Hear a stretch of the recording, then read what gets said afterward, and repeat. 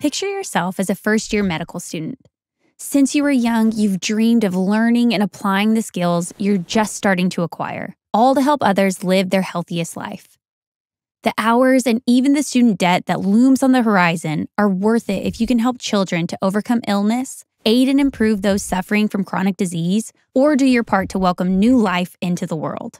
But there is one obstacle you didn't count on, and it may be the biggest one of all Ever since you started medical school, you've noticed a growing tension between what your professors, medical school administrators, and the medical profession are requiring from you and the religious convictions that play a big role in your desire to pursue and practice medicine.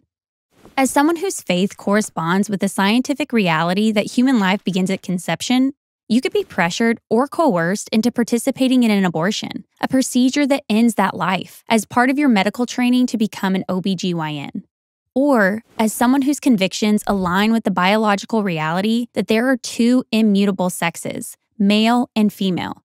You could be pressured or coerced into participating in a double mastectomy for a healthy teenage girl struggling with gender dysphoria, an irreversible procedure that you know she may one day regret.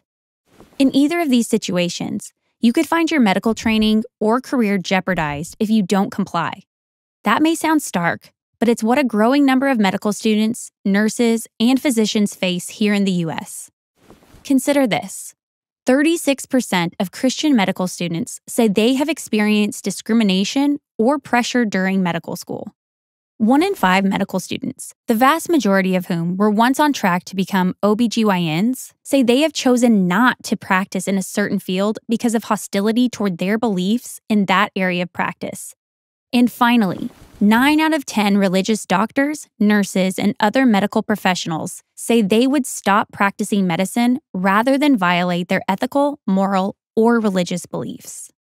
This ideological litmus test on who can enter certain fields, like the OBGYN field, doesn't just hurt students. It reduces diversity in healthcare by limiting access to OBGYN care that respects the values of pro life women, support that's critical for women in high risk pregnancies, limiting providers ultimately hurts patients. The same can be said of punishing physicians who don't toe the activist line on gender identity ideology. Physicians of faith gladly serve all people, but many understandably have a conscientious objection to participating in a controversial, experimental, and permanent procedure that removes healthy body parts from a teen girl as part of a so called gender transition. These ideological pressures have come into focus during the Biden administration, which has announced policies that attempt to override freedom of conscience for medical providers. You might think laws protecting the free exercise of religion would be enough to protect medical students and practitioners facing these issues. After all, the God given freedom to peaceably live and work according to your beliefs doesn't vanish just because you work in the medical field. But too often, these rights are set aside to achieve ideological control.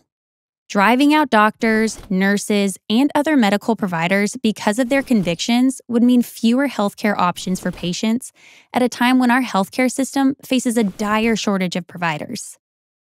In the spring of 2021, Arkansas passed the Medical Ethics and Diversity Act, or MED Act for short. The law protects medical personnel, including aspiring and practicing OBGYNs, pediatricians, licensed counselors, and more, from being required to participate in a healthcare service that violates their conscience. Americans should not be forced to act against their ethical and religious beliefs just to keep their jobs. Doctors, nurses, and other medical providers are no different. The MED Act and similar conscience protection bills simply protect the ability of medical professionals to practice according to their oath to do no harm.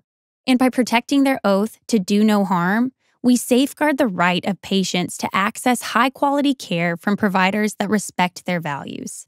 And that's something we should all be able to support.